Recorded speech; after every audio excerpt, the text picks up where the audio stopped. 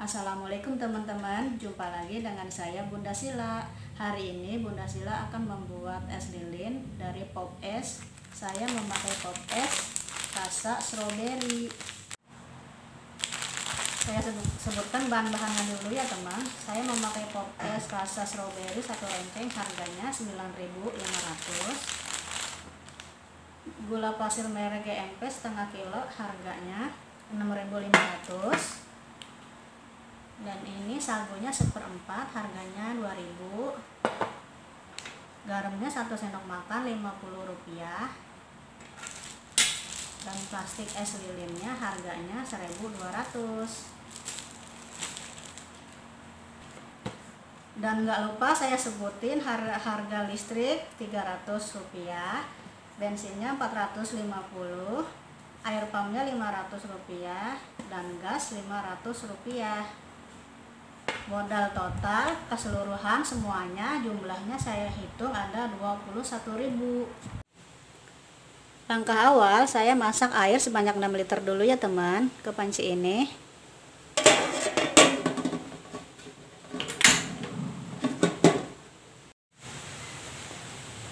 Menunggu air mendidih saya akan buka dan gunting pop esnya dulu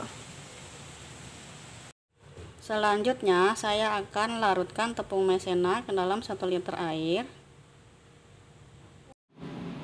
Seperti ini ya teman-teman, aduk sampai rata hingga larut semuanya. Air sudah mendidih, masukin gula pasirnya.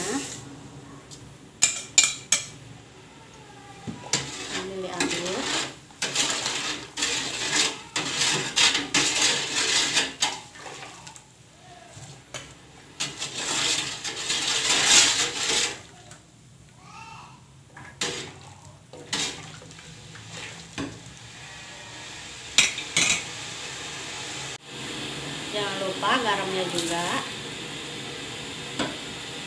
Dan pop es rasa strawberry dipasukin juga.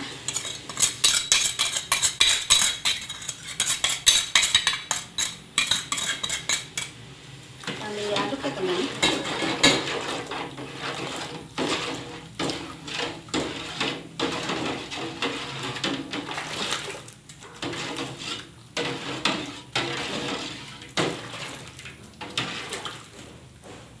dan yang terakhir tepungnya dipasukin ke sini.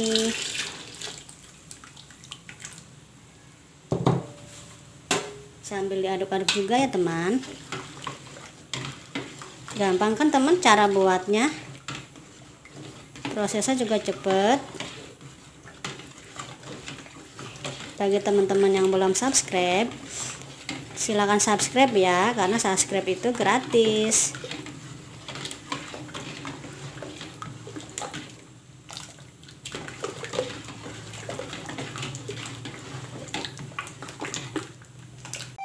kalau sudah mengental seperti ini itu tandanya sudah matang ya teman.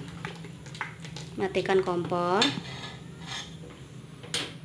Lalu saya akan menambahkan air matang yang sudah dingin sebanyak 2 liter ke sini. Ini yang sudah dicampur air matang dingin ya teman.